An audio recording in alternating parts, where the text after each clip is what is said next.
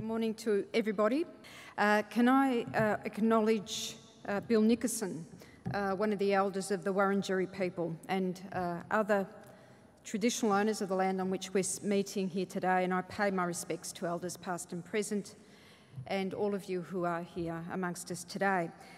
Uh, to Soren Hermansen, Director of Samso Energy Academy in Denmark, Candice Valsing, of course, thank you.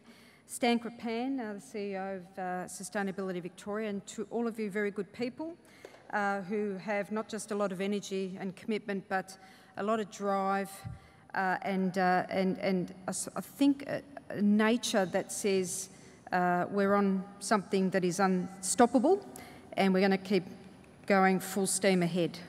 and we will do that together. So I think it's important to acknowledge the, the great strength uh, that is actually in this room. Uh, I'm very much delighted to be here uh, in a room full of people who are, are, very active and, and have a very clear view about what needs to change uh, in our energy system and why, importantly. Uh, our government certainly uh, has been one of those governments that have been very much committed to supporting the growth of community renewable energy projects uh, because we know and we share uh, with you the very clear view that things have to change uh, and governments have a very important role to facilitate that change and to show leadership when leadership is required to be shown, uh, regardless of what the arguments may be had, uh, certainly at a federal level. And we know that certainly community energy has a role a very important role to help us to reduce our carbon emissions in this state. Uh, community groups certainly are playing a very valuable role in positioning our state as a leader in renewable energy. And you do that so well because you cannot replace the grassroots projects that adopt new energy technologies. We're very well, well, well renowned, in fact, uh, as early adopters of technology uh, here in Australia uh, and certainly with uh, the communities that exist right across regional Victoria and the numbers of communities that I've come across in, in the time that I've uh, been in the energy space really does give a great sense of encouragement, I think, to the rest of us uh, about what can be done when communities make up their minds to make change uh, at their local level.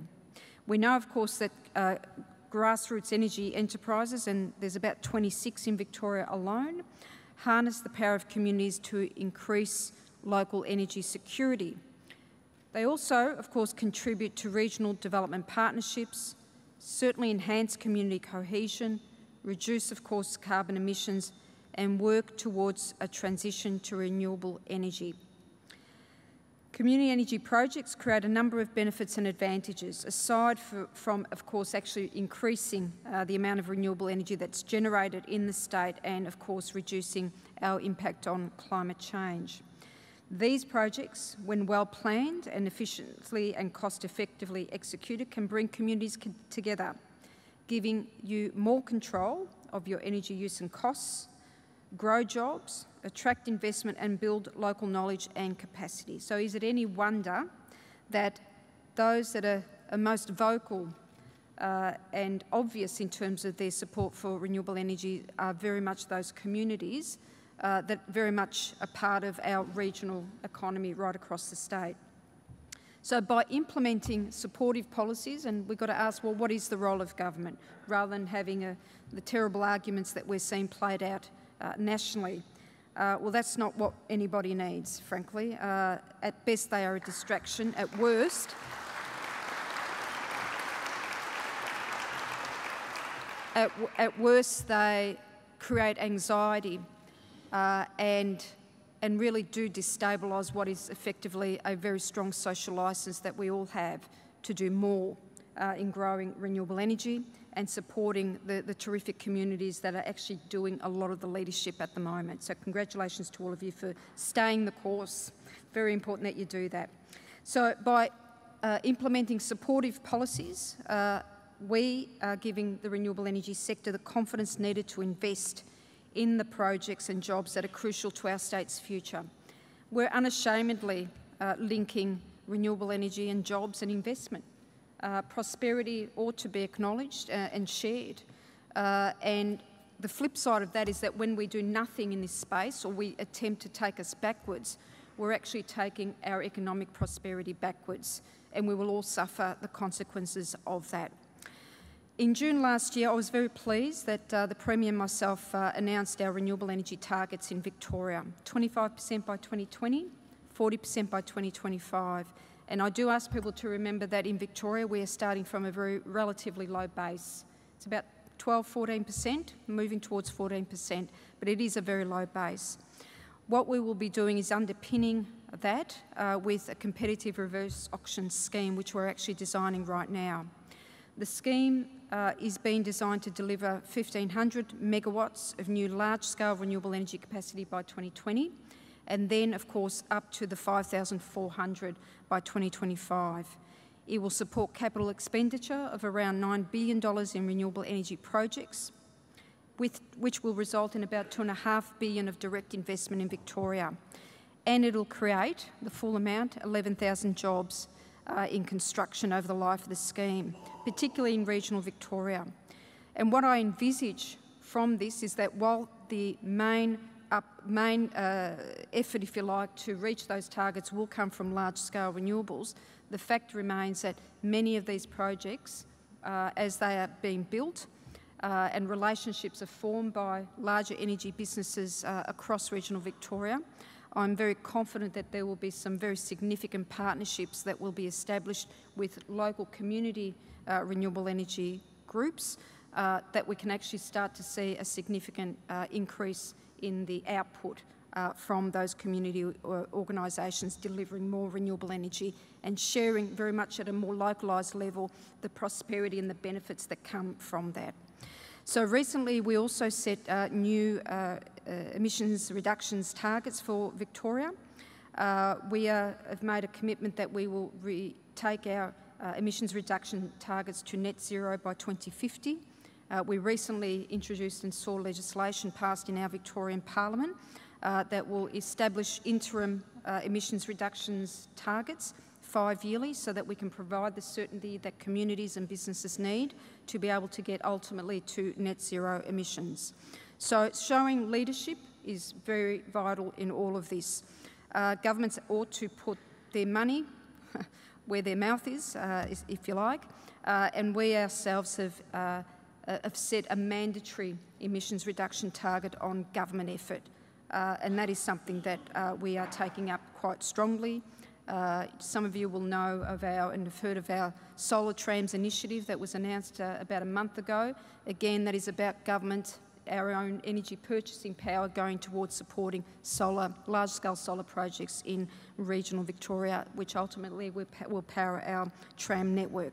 So these are the types of examples that are important for us to, to show and to demonstrate uh, leadership in.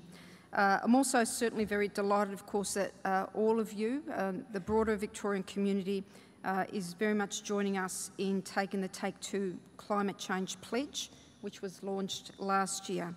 So the Take Two Pledge was designed for all levels of government, business and community to pledge contributions to reduce emissions and to help set Victoria on the pathway to net zero emissions by 2050.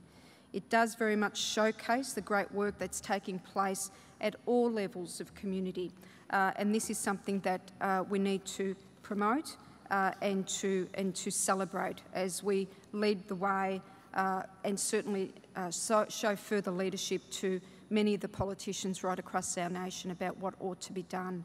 Uh, I'd love it one day that we get back on the track where politicians and communities are actually working in lockstep and actually taking the journey together at the same rate, at the same pace, in the one direction. We'll get there, we'll come back to that, I'm confident, uh, but we need to keep that effort up. Uh, we cannot uh, be, uh, we cannot be, uh, we cannot blink in the face of uh, some very bad arguments that are threatening to take us back to a place that we will certainly pay significant consequences for. So We've received over nearly 2,500 pledges so far to our Take Two climate change uh, pledge. Uh, pledges include 28 local governments representing over 3 million Victorians, 216 businesses employing about 230,000 people, 88 community groups with over 180,000 members, schools, tertiary institutions with over 240,000 students. That's real action, real action at a local level. So Victorian communities certainly play a vital role in reaching the targets that we've set and have already shown a, a growing interest to do just that by developing community-owned renewable energy projects, including wind farms to achieve a more sustainable future.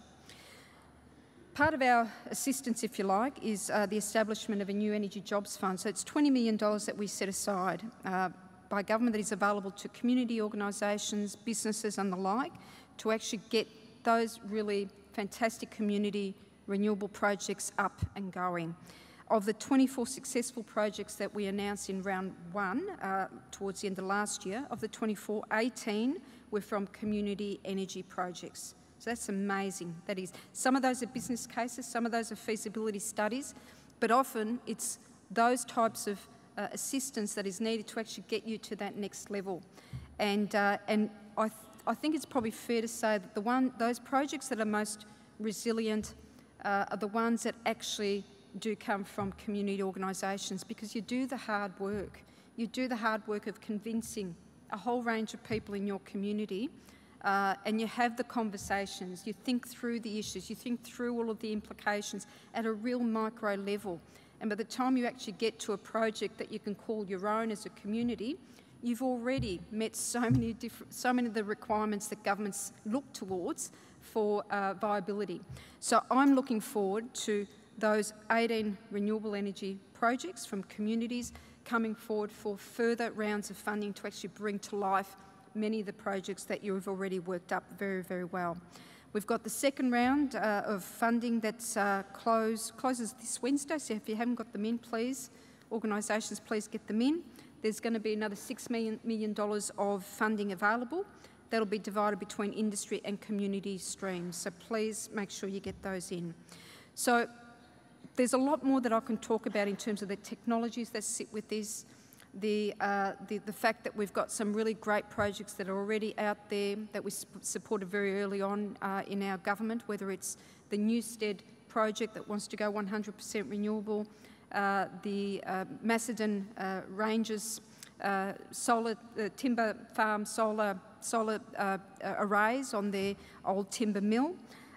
we are using those projects, those community projects that we're funding as a template as a template for us to learn about how government can translate the learnings from those projects to other community organisations right across the state. So we are looking to you for that leadership uh, and to help translate the success in those communities to be shared right across the state. The projects will be different, but in terms of the learnings uh, and uh, in terms of facilitating a, a, quicker uptake and delivery of those types of projects, we don't want to waste those, we want to share them around, and so we're very keen to keep that going. So community energy, of course, uh, will be what sustains, I think, the, the conversation and the social licence. And our government certainly is continuing to assist with that. Last year, we released the Community-Owned Renewable Energy for Victorians Guide, and that is, uh, we, that is an acknowledgement, really, that a significant barrier to success for community energy projects is understanding and navigating existing regulatory and planning processes. These often are very cumbersome. We know that. We know that we've got regulations, uh, we've got systems that have been designed for large energy retailers, for large energy generators, for, for the large distribution businesses. So the focus on changing regulations, while that might not sound all that sexy, is actually very instrumental in facilitating the greater take up uh, and inclusion of community renewable energy projects in our, in, in our system of energy supply.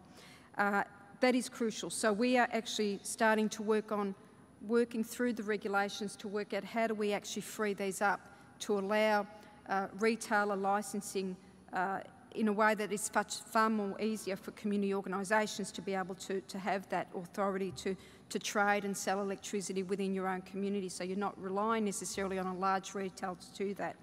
So see, these are some of the issues. There's other issues, of course, and there's a discussion paper that is out right now in terms of the current uh, council rates framework uh, for electricity generation facilities.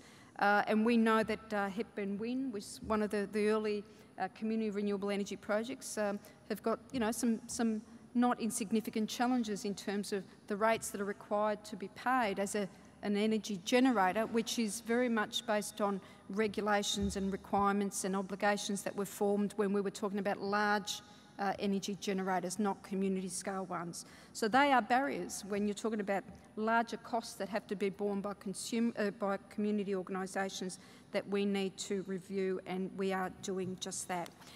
Uh, we will also see and uh, a significant uptake of uh, energy storage technologies, large and small, microgrids, community level, household level, business level.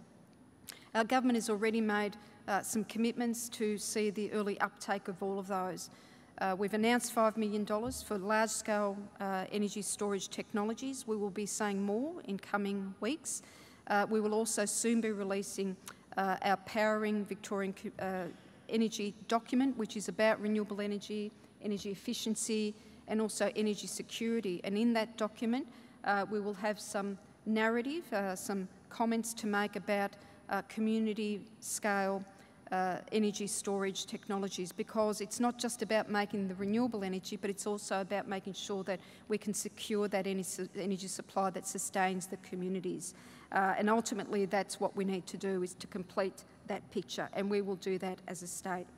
Can I thank you all for your attention? I probably haven't been as entertaining or as funny as, as our previous two speakers, but I did want to remind people and also to introduce some of the new efforts that we are implementing as a government and ones that we've got to keep building on.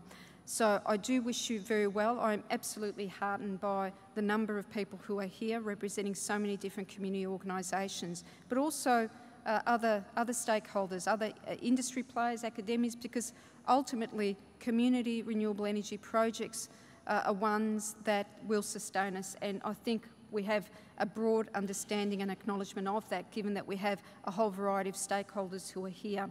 Uh, because we know that this is part of our future. It will be a strong future and it will be a future that this government will support wholeheartedly. Uh, and I certainly hope uh, that the leadership that you uh, encourage us to, to play and to take uh, will be one that will ultimately uh, win this debate. It's a long debate. Uh, it will be that one that will be won, and ultimately we will see more community, more communities actually taking control of their energy and their energy future. So thank you to all of you, and all the very best for all of your projects.